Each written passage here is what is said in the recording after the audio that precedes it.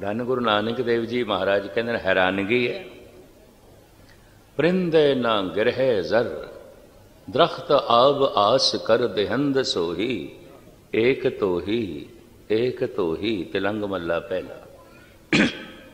ਸ਼ਾਮ ਦਾ ਸਮਾਂ ਪੰਛੀ ਆਪਣੇ ਆਲਣਿਆਂ ਦੀ ਤਰਫ ਆ ਰਹੇ ਨੇ, ਗੀਤ ਗਾਉਂਦੇ ਆਇਆ, ਨਗਮੇ ਅਲਾਪਦੇ ਆਇਆ।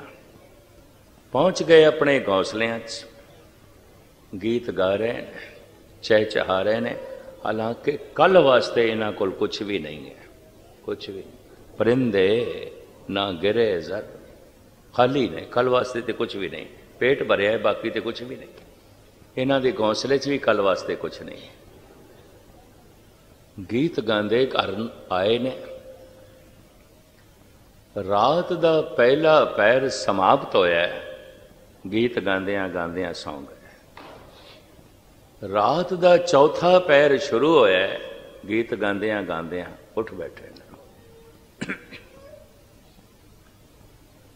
ਅਕਬਰ ਨੇ ਕਿਧਰੇ ਪੁੱਛ ਲਿਆ ਸੀ, ਬੀਰਬਲ ਤੋਂ, ਬੀਰਬਲ, ਕਦੋਂ ਸੌਣਾ ਚਾਹੀਦਾ ਹੈ? ਕਦੋਂ ਜਾਗਣਾ ਚਾਹੀਦਾ ਹੈ?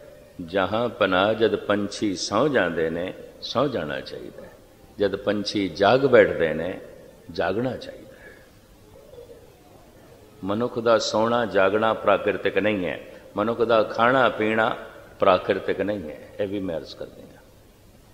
ਇਹੀ ਕਾਰਨ ਹੈ, ਮਨੁੱਖ ਦਾ ਬੈਲੈਂਸ ਹਰ ਥਾਂ ਤੇ ਵਿਗੜਿਆ ਹੈ। ਗੀਤ ਗਾਉਂਦਿਆਂ ਗਾਉਂਦਿਆਂ ਸੌਂ ਗਏ ਉਹ ਪੁੱਟ ਗਈ ਰਾਤ ਦਾ ਚੌਥਾ ਪਹਿਰ ਸ਼ੁਰੂ ਹੋਇਆ ਗੀਤ ਗਾਉਂਦਿਆਂ ਗਾਉਂਦਿਆਂ ਉੱਠ ਬੈਠੇ ਗੀਤ ਗਾ ਰਹੇ ਨੇ। ਚਾਨਣਾ ਹੋ ਗਿਆ ਪੂਰਾ।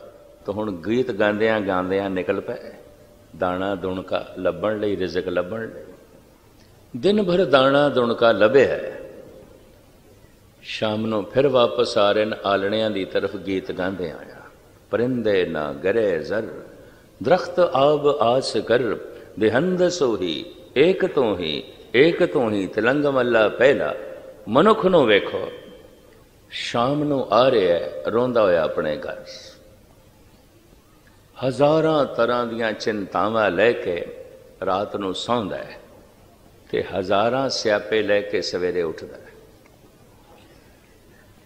ਹਜ਼ਾਰਾਂ ਤਰ੍ਹਾਂ ਦੇ ਹੌਕੇ ਲੈ ਕੇ ਘਰੋਂ ਨਿਕਲਦਾ ਹੈ। ਤੇ ਯਕੀਨ ਜਾਣੋ, ਹਜ਼ਾਰਾਂ ਤਰ੍ਹਾਂ ਦੇ ਸਿਆਪੇ ਲੈ ਕੇ ਸ਼ਾਮ ਨੂੰ ਮੁੜਦਾ ਹੈ। ਹਜ਼ਾਰਾਂ ਤਰ੍ਹਾਂ ਦੀਆਂ ਚਿੰਤਾਵਾਂ ਲੈ ਕੇ ਰਾਤ ਨੂੰ ਸੌਂਦਾ ਹੈ।